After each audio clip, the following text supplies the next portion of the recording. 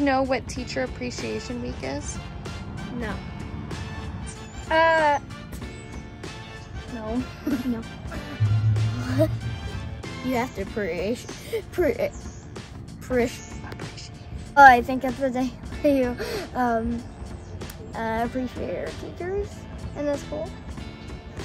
appreciate, pre, I can't say Appreciate your teacher for helping you.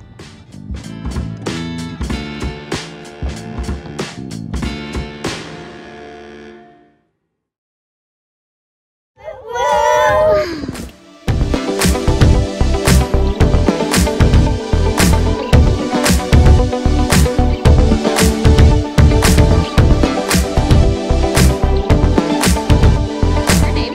Alana. What? Alana. What? Alana. And-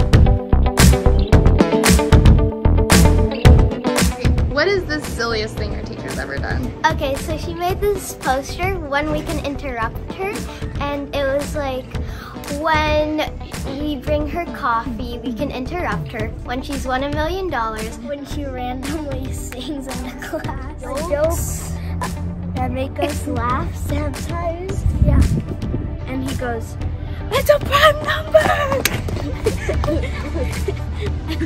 Is get our names mixed up? At our party when she gave us uh, Carrots.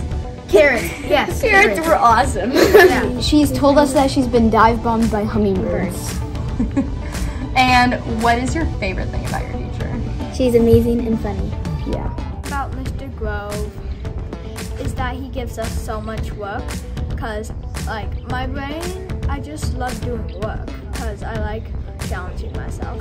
He always laughs and gigg- giggles. She almost every day has a smile. Yeah.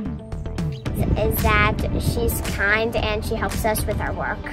She's always a friend to everybody. She always helps people. Hans is he's really goofy and he always makes learning super fun.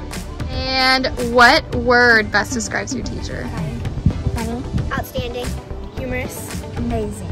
Um, that he's smart and kind. So the best word that describes Miss Bouvier is encouraging because she helps us with our work when we need it And gives us reward when we earn it.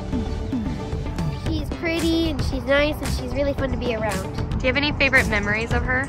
Every single day.